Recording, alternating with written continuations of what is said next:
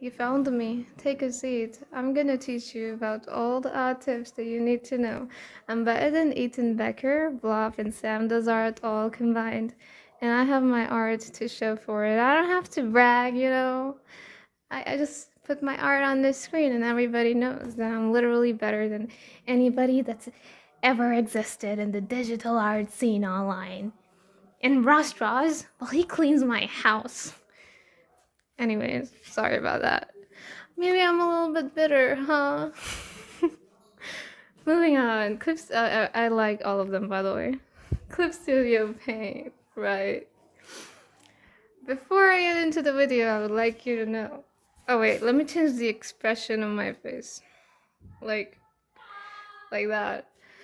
And if you hear my sister yelling, I'm sorry about that. So Clip Studio Paint, I've used it on PC, I mean laptop when I had it, then I broke it, so I'm poor now. Anyways, it's great. It's probably the best. If your PC can, yeah, it is the best. Well, it's on par with Sai. Let's be real, Sai brushes are really, really good, and people still use them. Even people that have a lot of artists that I follow that have um, they use Clip Studio Paint still like to do their line work inside because just because the blushes are just so good.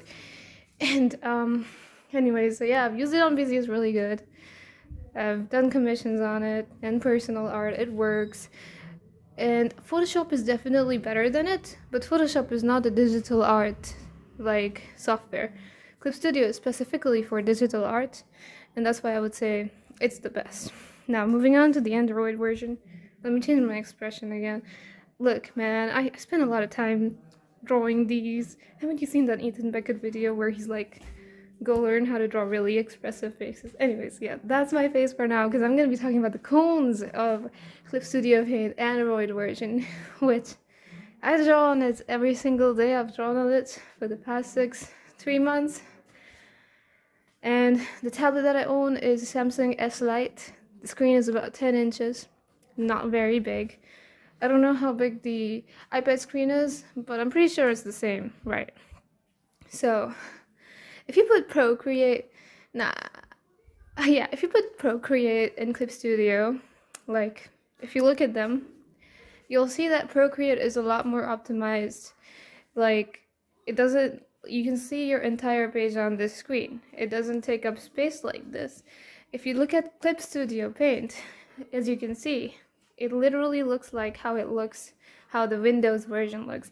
They did not do they did not put any effort in trying to make it optimized for an android tablet where you don't have a lot of space right? And that's my only problem because every time i'm working i will have to zoom in to work on details like this. And then when i zoom out my drawing kind of looks like kind of falling apart because I have to focus on really small, like I have to draw in like blocks, uh, right? Because I can't be zoomed out, and because the screen is too small, I wouldn't be able to render it. And so it doesn't look very cohesive. Like I am unhappy with it, and I'm gonna. It's good for drawing anime stuff, anime chibi, all that, but if I want to do more serious art, I cannot do it on the Android version. It would be nicer to have a PC, and I am going to get one soon. And that's probably my only, like, the only dig I'm going to make at Clip Studio Paint, bro, because everything else is great. It works just as good. Well, not just as, of course not just as good. but it is just literally just a replica of the PC version, right? It's just not optimized and now the pros, which definitely outweigh the cons. The pros are you can have multiple windows. Other than that, I don't have any problems drawing with Studio Paint. I've been drawing a lot of commissions on this on my Samsung tablet, and it's fine because it's not super heavy work, but I definitely need a bigger screen if I want to do more serious, more rendered digital art.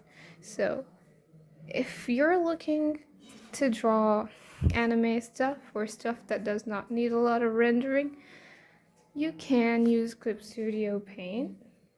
But if you want to be drawing like League of Legends splash art, it's probably better to save up and get an actual drawing tablet that works with a laptop.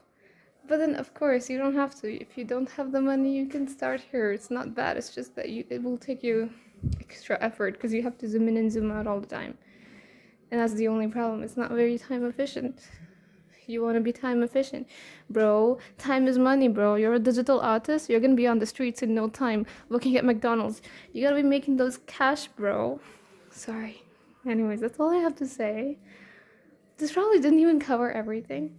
But I was just sitting on the sofa and I thought, you know what? I want to teach kids something. I want to give away to the community. Not that the community gave me anything, to be honest. But, you know, I'm trying, doing my part. Anyways. So, yeah, it's like. Like, what other option do you have if you don't use Clip Studio Android? You get Medibang, it's not that good, let's be real. Unless you're some odd god and you can work with any software. I'm not. And I feel like Clip Studio is better than Medibang, but at the same time, Medibang on the Android version is more optimized to be the Android version. And I haven't really tried the Krita Android version, but that looks just as shitty as Clip Studio. But still, if I had to pick one out of everything, I would pick Clip Studio. But better than Clip Studio is Procreate because it's more optimized. You can see your entire paper. It doesn't have like small windows like this. Anyways, thanks for watching my video. Ooh. Oh no. Oh, what did I do? Yes.